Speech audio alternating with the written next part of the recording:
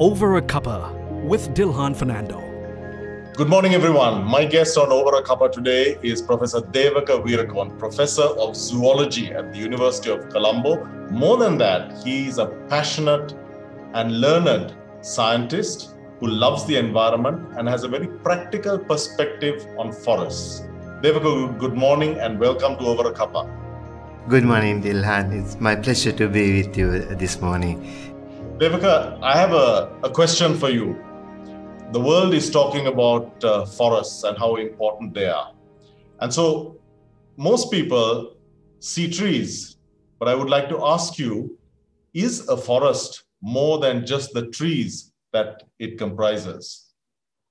Uh, okay, give me a second to share my screen with you, Dilhan. I would like to show some photographs.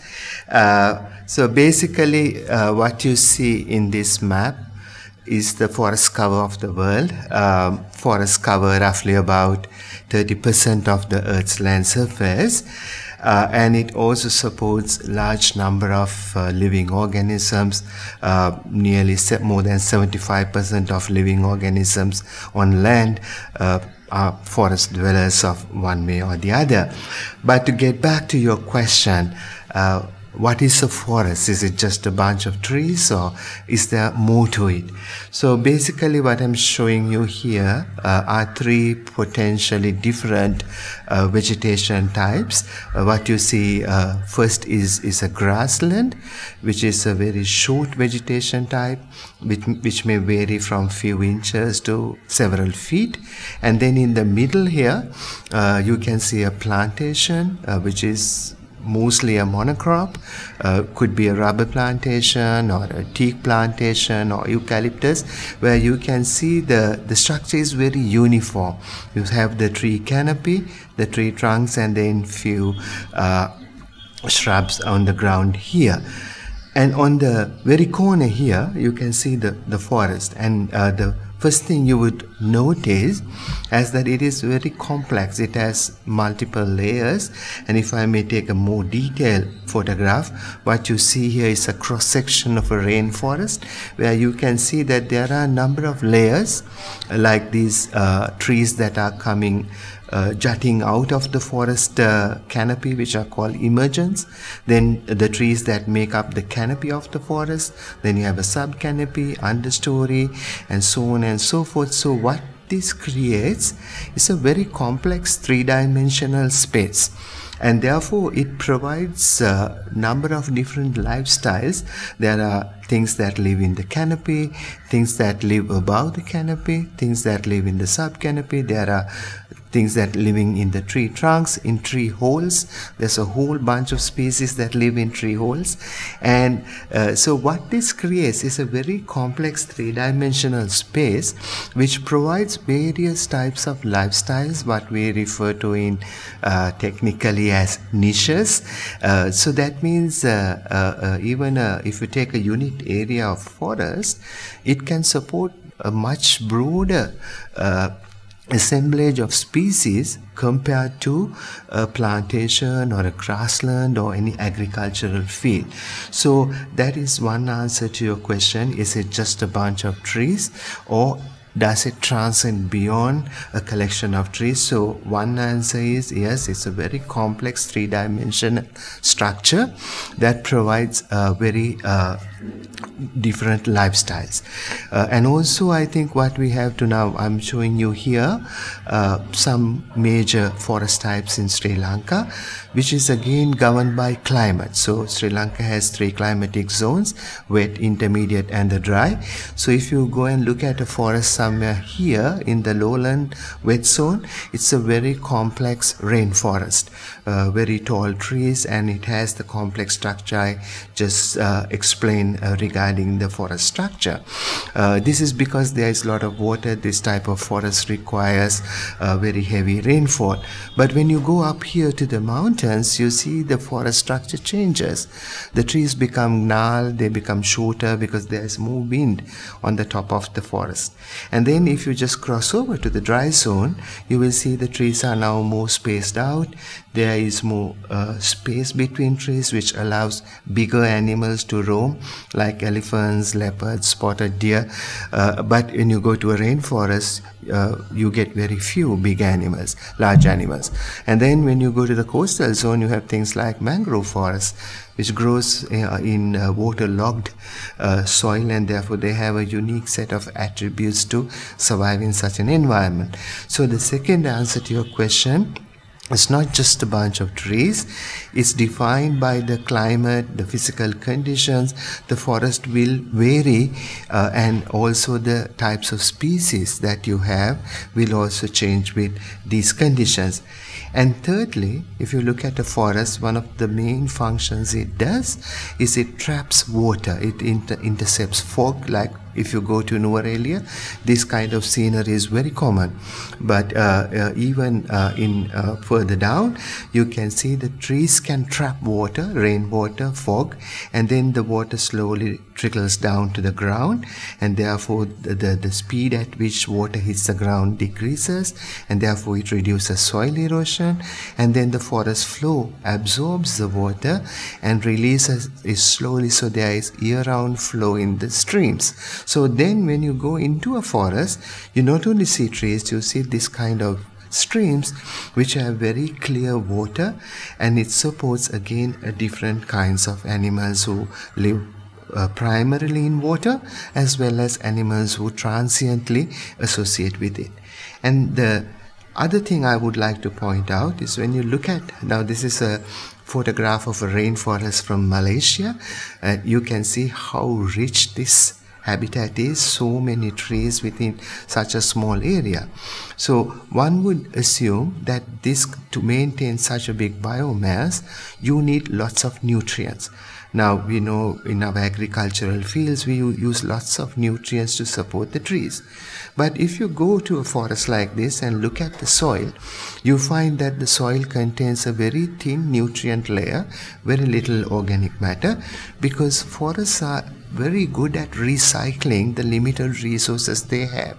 So, whenever a leaf falls on the ground, a twig falls on the ground, or a tree falls on the ground, they are quickly recycled and reuse utilized so the resources are amply uh, recycled. Therefore there is no dearth of nutrients. However if you remove things from here that affects the recycling. This is why we ask people not to remove uh, forest wood from the flow uh, as fuel wood and so on because if you take something out of the forest, you take it away from this very efficient recycling system, creating a, a, a, little imbalance. So that is why we would like forests to be left alone so they can support itself without any additional support from us. And, and when we talk about the soil, there is another thing that I would like to mention here.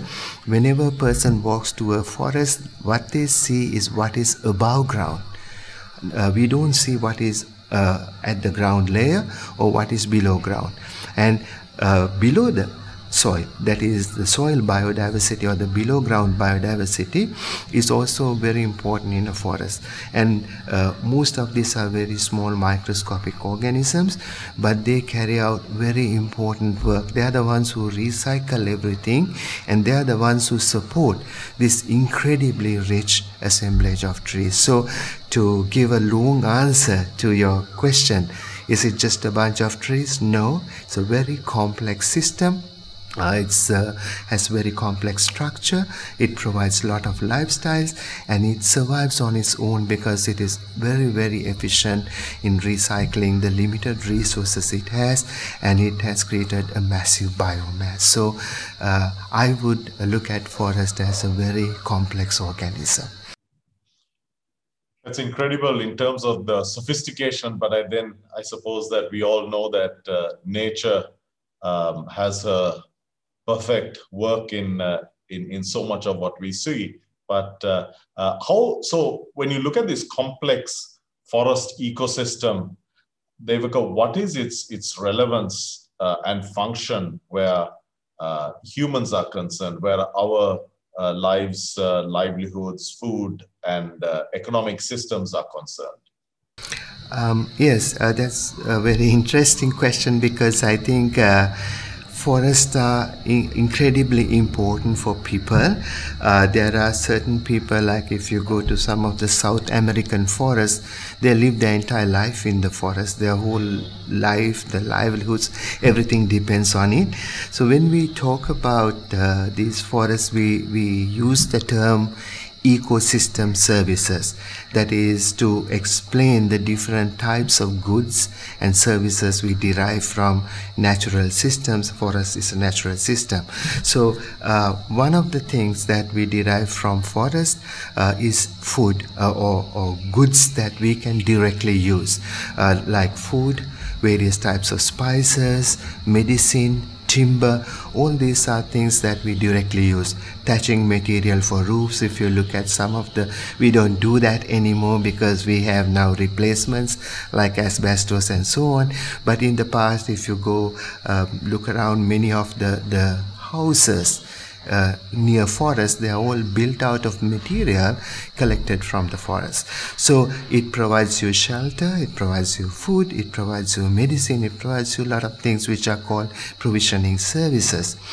Well, on, but I think one of the most important things that forests uh, do is they provide us fresh water, clean water, and clean air because forests are able to trap uh, particles in the air. It's able to remove some of the carbon dioxide and it's also able to uh, cool down the entire area. When you go into a forest you immediately feel a coolness that you don't feel outside. So uh, these are uh, other things that it provides us but there are a number of things that the forest provides us that we do not really take into account because uh, some of the services that the forest do, they do it very silently.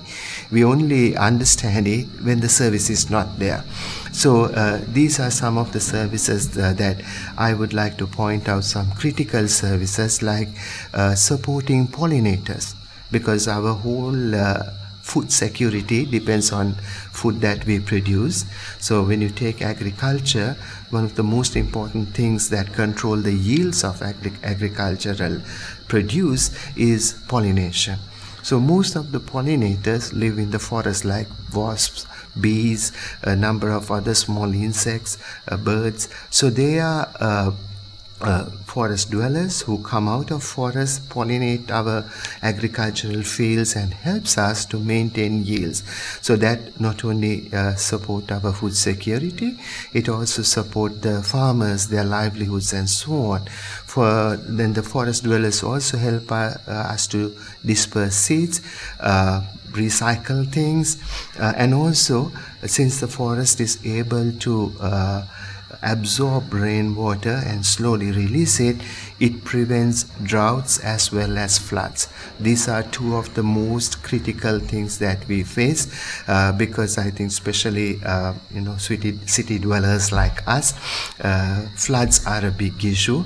But if you're a farmer, both droughts and floods uh, are not good for agricultural practice. So these kinds of supporting services are also very important.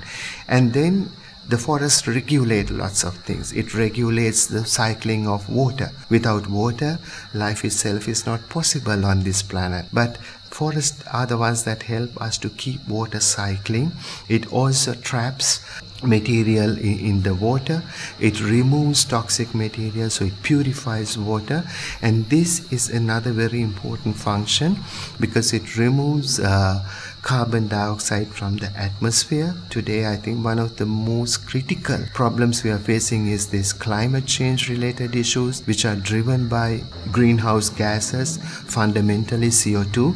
So, forests are able to remove CO2 and sequester them in their biomass, and therefore, it helps us to, it is our first line of defense against climate change. And finally, uh, the, the forest also gives us these kinds of services uh, spiritual renewal opportunity for recreation, which can of course convert it to uh, industry, the whole ecotourism industry, and then also a lot of uh, people have certain spiritual connectivity, like in, in Sri Lanka, uh, you have all three religions going to peak wilderness.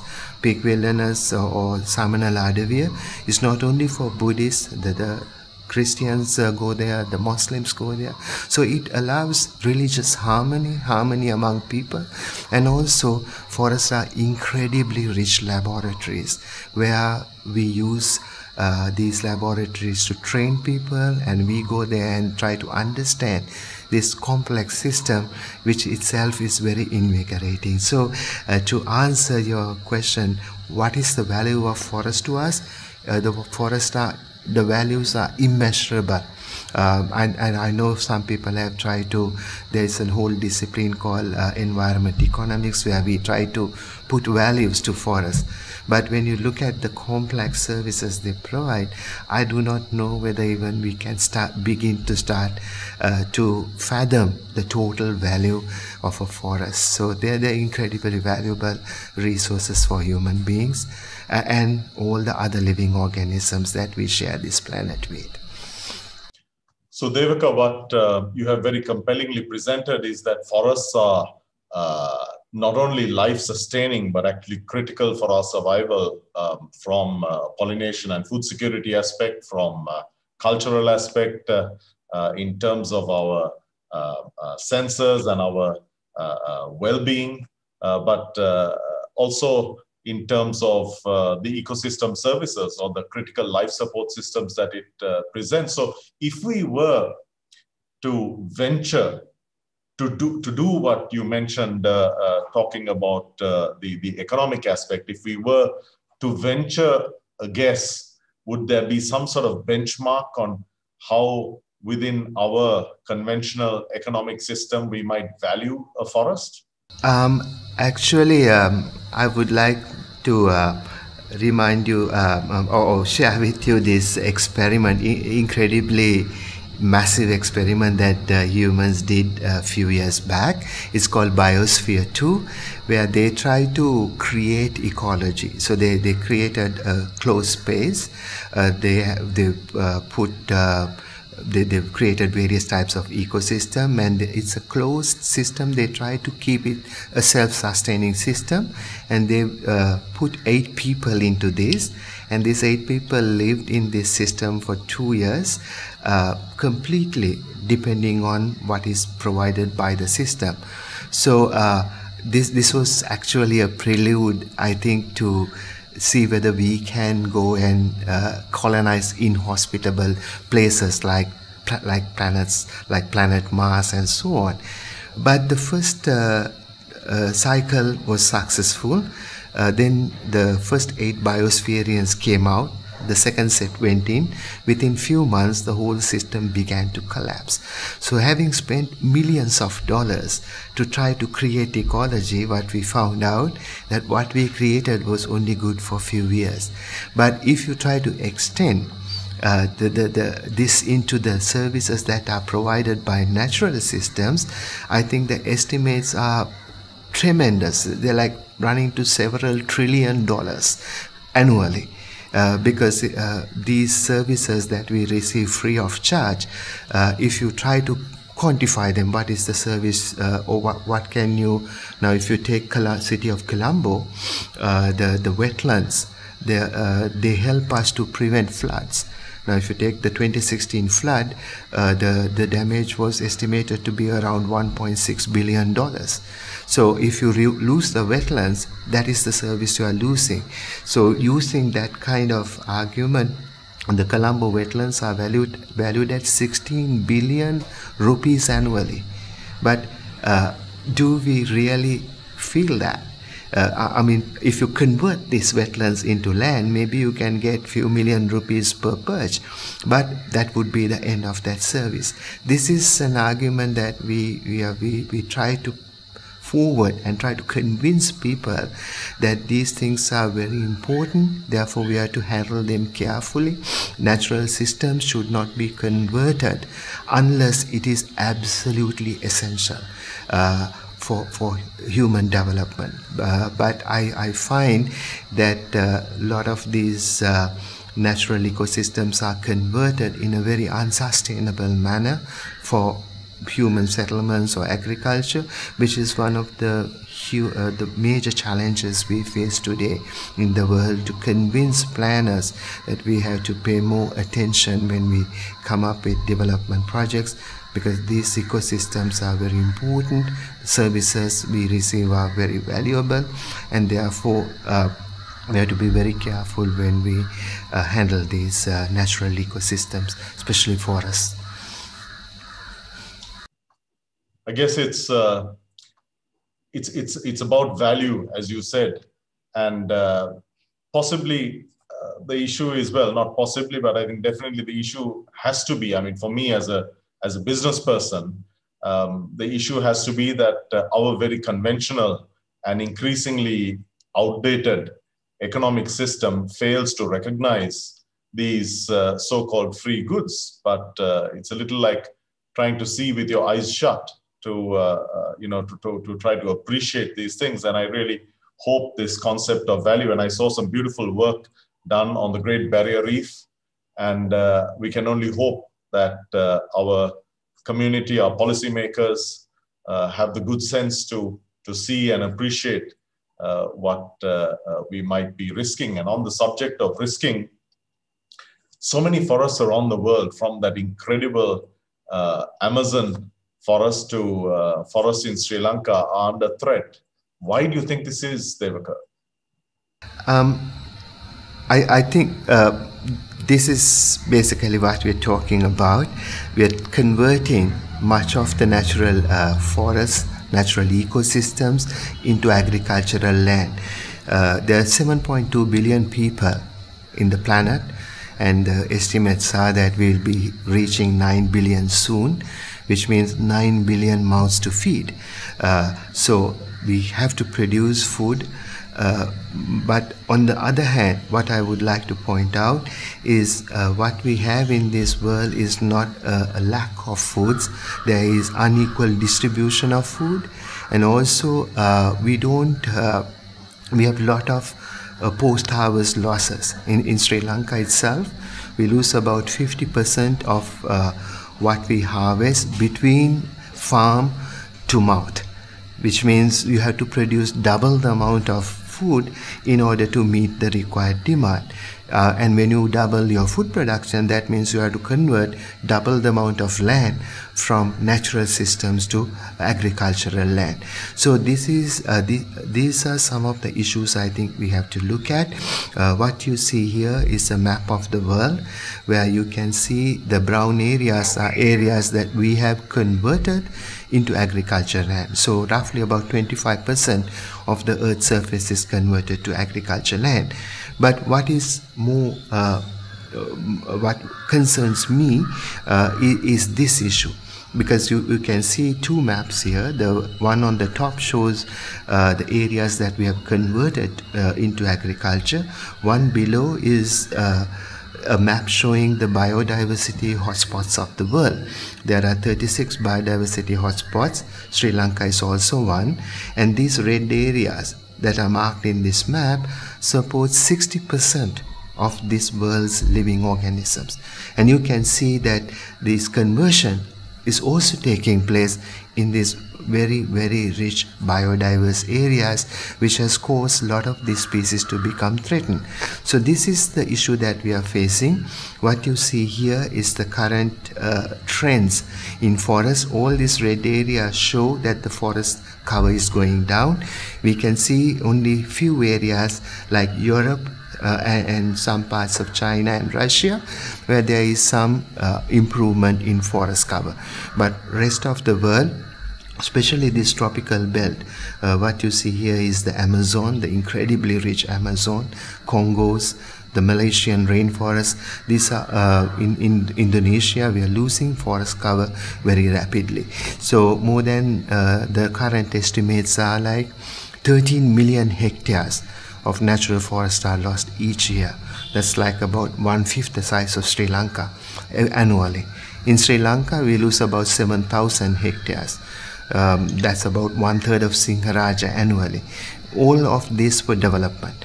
Uh, and when you lose forests, it's not only forests that we lose, we lose large number of living species because some species can live only in the forest and I, I showed at the beginning that forests support large number of animals and plants so when we lose forests we also lose species and what is most uh, disturbing is that forest uh, destruction contributes about 20% of the greenhouse gases so this exacerbates an already challenging problem we are facing, which is climate change driven by greenhouse gases. So, uh, what we are doing is we take forests which stores carbon, which removes carbon from the air, and we release the carbon back into the atmosphere. We were doubling the problem uh, of climate change by doing this. So I would like to share with you this. This is a satellite image uh, taken in 2019 and all these red areas indicate forest fires in the great Amazonian basin. Uh, and, and the amount of uh, forest lost is massive in 2019 alone. And this was not only restricted to 2019 the subsequent year 2020 we had similar forest fires.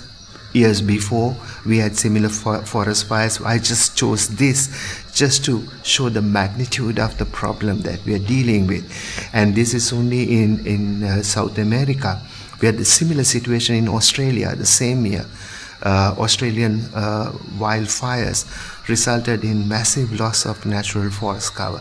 So this uh, uh, if you look at the Amazon, Amazonian, uh, these forest fires are driven by uh, slash and burn farmers. They're, they're burning uh, the forest, cutting and burning the forest for agriculture. So uh, if you look at Sri Lanka, uh, you can i'm just showing you these two maps side by side. This map shows the the the coverage of uh, man-made tanks. And you can see the entire dry zone uh, contains large number of man-made tanks. These tanks were produced for agriculture uh, to support agriculture and what you see here is the forest cover in the dry zone. And when you compare these two, you can see that most of these areas, the forest would have been removed for agriculture during the hydraulic civilization that lasted uh, from about 500 BC to 1200 AD, and then the civilization shifted to the wet zone, allowing these forests to recover. So if you look at most of the dry zone forests, these have been remodeled during the last 2500 years. We see the results of it. If you go to this forest, you don't see very few endemic species. Uh, because when you remove a forest, the endemic species or species that have evolved in this forest are the ones that are most sensitive to this deforestation. So you lose them. And you can see here the hydraulic civilization fell, the forest recovered, but what we lost can never come back. Extinction is forever. So that is why we see that the, the uh, in the dry zone forest, uh, endemic species that are restricted to dry zone are very few. You only find them in these kind of inselbergs or mountains that are jutting out of the dry zone. So uh, I think uh, what I'm showing you here uh, is uh, the Geelong Mountains or the Maragala Mountains in the Monragala district. There are lots of these kind of isolated mountains that you see across uh, dry zone like Ritigala, Kokagala and so on. And when we go to these mountains, we see there are lots of endemic species here, which sort of gives us an indication as to what we may have had and what we, we may have lost uh, due to uh, deforestation in the dry zone. Now the deforestation continues. This is what uh, these three uh, frames uh, show you what has happened to our forest since independence. So this is 1956, just after independence, we started reclaiming the dry zone with large uh, irrigation projects. First things like uh, uh, Gal Oya project, uh, then uh, in Udawalawa and so on. Then subsequently the Mahaweli development program which has resulted in large scale conversion of forest into agricultural land and human settlements. Now, what have we lost? With all this. I think we have lost many things. We lose pollinators, as I've indicated earlier. Uh, forests are very important for pollinators. Uh, we see a global decline in pollinators, which is very concern, people are very concerned about it because without pollinators our agricultural productivity goes down which means we have to uh, produce more and more which means we'll have to convert more and more forests. So we get trapped in this very vicious cycle. You destroy more forests to grow but your yields come down. So uh, a never ending thing which will push us deeper and deeper into uh, uh a crisis. Then we lose seed dispersal agents. We, we lose natural predators because the, the species that live in forests come out and feed on lots of insects that are potentially pests on our, our agricultural lands. There are things like birds, bats, spiders, small and medium sized carnivores. Now, today we have a huge problem with peacocks. Uh, and their population is growing without control. One of the reasons we believe is loss of small predators like jackals. Like when I was uh, very young, I grew up very close to Colombo in Bellanwila. We had jackals in Bellanwila, not anymore. They have just disappeared because we have changed, the urbanization has removed them. So when you remove predators like jackals, it results in uh, some of the species that are kept under control by these predators starts expanding and some of them have reached pest situations in the country.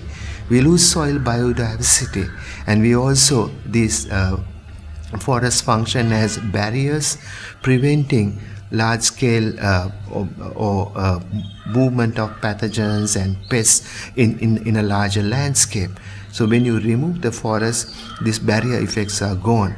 But I think one of the things that really concerns us today is the human wildlife conflict. Not a day goes by without us hearing something about human elephant conflict, but we're not only in conflict with elephants, we're in conflict with wild boars, we are in conflict with peacocks, uh, crocodiles, a large, the, the, the, the list keeps growing. And if you compare the number of conflicts that are growing with what is happening to forests, you see there the on one side we have reduction of forest and on the other side we have escalation of conflict. So these things go hand in hand and conflict obviously has a huge impact on agriculture because most of the farmers are heavily influenced by conflict or, or we cannot uh, get the benefits uh, of agriculture due to conflict. And we spend millions of rupees for agricultural development but we don't get the desired results because of the conflict that occurs. And uh, forests are extremely important for water cycling and water is extremely important for agriculture. So once again by converting forest to agriculture we have compromised the water security and therefore ability to do uh, agriculture. So this is basically uh, what we are losing uh, or this is the impact of uh, removal of forest without a sustainable plan at least in my mind um, argument, uh, Devaka, for any person, whether you're a businessman, uh, individual, or a policymaker. But um, I think the importance uh, of, of what we uh, should should focus on now is, is to ensure that there is awareness, and hopefully, with awareness, there will become be commitment, and uh, in that way, we can try to induce change. But tell me, to add to this very compelling argument that you have shared, what would life be without forests, theoretically, hopefully? okay, I, I can only uh, imply what it would be based on what we know of evolutionary history. Uh, now, what you see here is planet Earth, which is unique because, as far as we know, this is the only planet that can support life or that supports life at present. Now, this is a very old planet. It's four and a half billion years old, and for nearly three and a half billion years, it was a planet that is that has oceans but the land would have looked something like this. It was a blue planet. The land was not colonized by trees so it's very desolate very brown. The soil is exposed. So uh, only about a billion years ago uh, plants started slowly uh, uh, colonizing the land and then they start producing forests and then they converted the land into a green uh, cover. So what we see today uh, is if, if you go back one billion years, this is what the world would have looked like. But today we have a, a planet where about 30% of the land is covered with forest and there's a lot of other vegetation types on the planet which is now a blue-green planet. Now what would life be without forest? This is what life would be to me without forest. It's desolate, it's dry, it will not be able to support agriculture, so we'll have issues with food.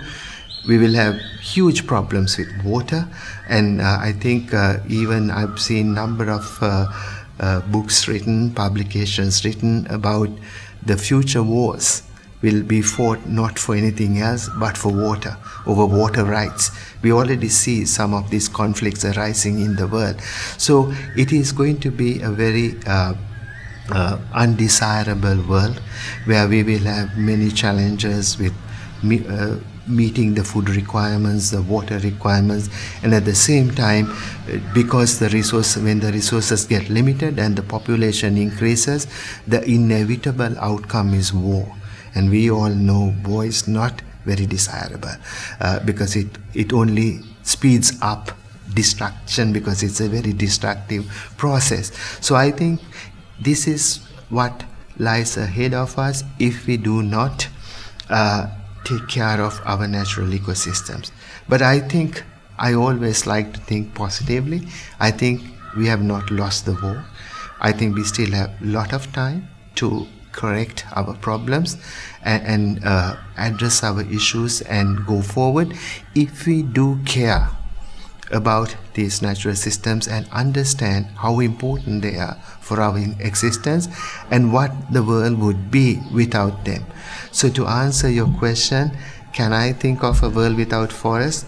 Yes, I can, but this is what comes to my mind uh, this kind of world which is not a very desirable place to live uh, or to bring up our next generations. Uh, Devaka, that's a pretty compelling argument. Um, you know, this uh, uh, clearly um, your reference to care, we have to care because it's a question of the survival of our, of our generations and whether or not uh, we care about our children and their children uh, I think there's a strong moral argument, there's a commercial argument, there's a social argument, there's an economic argument. Really, whichever way you look at it, it's it's very compelling. But I guess um, I, am so happy to to hear that you're positive about it, and I absolutely share that uh, optimism. Uh, but uh, I guess the change that we we need to see to move the needle on this matter, it needs to start with each of us. So I guess my final question to you is what could each of us do? I mean, if I were to tell my children, look, this is a problem and this is something you could do to help, uh, what would it be? Um, I think we can uh, engage this problem in, in multiple ways. Like you said, I think uh, first we should start uh, bring change within ourselves. Uh, we can start uh, changing how we utilize resources because even if I save uh, water, if I save energy, because now if you say uh, to produce the energy that we use, you either have to have reservoirs, which means converting forest uh, into reservoirs, or if you're going for solar, that means you still have to clear vegetation to establish a solar farm. If you want to put a wind farm, again the same problem. So if we can reduce our footprint uh, in terms of energy in terms of water. That means the generation can be can go down. If one person starts if all of us tries it if 7.2 billion people try to do this on a daily basis i think uh, we will have to produce less which means we can reduce the conversion. And also sharing things. Uh, i think one of I, I pointed out earlier the issue we are facing is not lack of food, it's poor distribution of food. Uh, so I, I think uh, we should we shouldn't try to overutilize things. We must try to. I mean, these are things that we were taught in the kindergarten. I once read a book which says all what you had to learn. They taught us in the kindergarten to be nice to people, to share with people, to return things back to where they are, not to use more than what we need. So I think these are. Uh, it's easy to say, very difficult to practice. Uh, I think all of us might forget this from time to time, but I think we have to constantly remind ourselves that our footprint on this planet is tremendous. Um, I mean, if you look at some of the things uh, you may have seen on TV uh, during the COVID shutdown, how the atmosphere cleared, how the water cleared in Venice, you could see the fish in the water which you cannot. So, th- this clearly shows the footprint of man on this planet, which is tremendous. So I think one of the things we can do as individuals is try to rethink what we are doing. Can we cut down the amount of emissions on a daily basis? If it if it becomes part of our existence, I think that that is something that we can start with. And nobody can say that it takes it's not a doable thing because it only takes a little effort on our part. And then i think we should try to uh, educate others to try and do it because we are not asking them to do something bad. Uh, just use uh, we are not asking them not to do things. We're just asking them to do things only uh, according to what we need. But you can go beyond that uh, you can uh, i think that's what you do as dilmah conservation. That's what i have been doing as a conservation biologist. We try to uh, go in a more organized manner bring people together uh, as associations as organizations as various kinds of uh, structural uh, constructs to provide platforms for people to work together for conservation that is the second layer. But I think the third layer is what we do as uh, now what i was telling first was what we do as human beings on our day-to-day life. But all of us have a job to do. I'm a lecturer you are a businessman another person is a road engineer. But in our work we have to make sure that environment is part of our formula. Because all these development projects all these things are uh, designed by educated people. We always blame the politician, but as educated people, are we doing our thing right? Are we running our businesses in a sustainable manner? Or as a, a lecturer, am I uh, teaching my students the sustainable ways to do things? Or as an engineer, are you designing a sustainable project for the country? So I think we can uh, do a lot of things by ourselves by doing the right thing but I think uh, sometimes people don't realize this. I, I, think when people do some of the things that we see as bad, it's not because they are bad people, but they have not come to realize this is the footprint we are having. This is how we have to change our way that we need a paradigm shift in how we do things because the world has only limited resources and, and uh, this is a beautiful world and it's worth saving.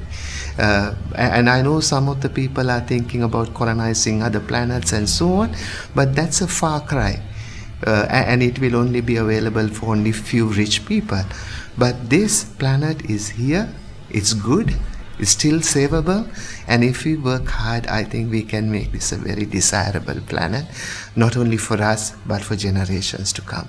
That is how I feel about this, and I think we can do it if we all put our minds together and make an effort. I couldn't agree more, Devaka. And I think even those very rich people who might go and colonize Mars, they may end up very unhappy because I think we are very much a part of the natural ecosystem. I, I can't imagine life if I had to wake up in the morning and not see a tree or hear bird song. I've been hearing so much bird song in the background uh, while listening to you. But I want to, um, before I, I, wrap up, uh, if I can, uh, if you will permit me to ask you one uh, final question. Um, I saw a tweet the other day, which I thought was quite interesting, where it suggested that uh, whenever you eat fruit or, or, vegetables or something with seeds in it, that a simple act at a very simple level is that uh, you could take the seed, you could dry it, and you could simply throw it out into a forest area or somewhere where there's land. I mean, is that a uh, I know very simple, but is that a suggestion that would be valid in your opinion, Devaka? Um, it depends because uh, I think some of the things we eat are exotic to this island.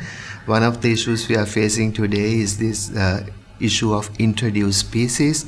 Some of them have become invasive. So I think uh, introducing things into forests uh, by people uh, has to be done very carefully because if we try to uh, put seeds into forests which doesn't belong there naturally then we are again creating uh, uh, and, and, some of these seeds uh, might be very invasive uh, maybe the seeds might grow up into trees that are very invasive and may very, very well change the composition of the forest.